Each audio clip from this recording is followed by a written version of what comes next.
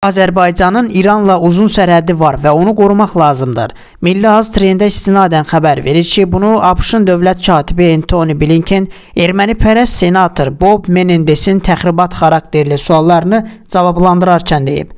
Blinken vurğulayıb ki, sülhməramlı missiyalarda iştirak çərçivəsində Azərbaycan və NATO hərbi qüvvələri arasında qarşılıqlı fəaliyyətin gücləndirilməsi zəruridir. Senatının Xarici Əlaqələr Komitəsində keçirilən dinləmələrdə çıxış edən dövlət katibi həmçinin Azərbaycan və Ermənistan arasında sülh sazişinin tezliklə imzalanmasına ümid etdiyini bildirib.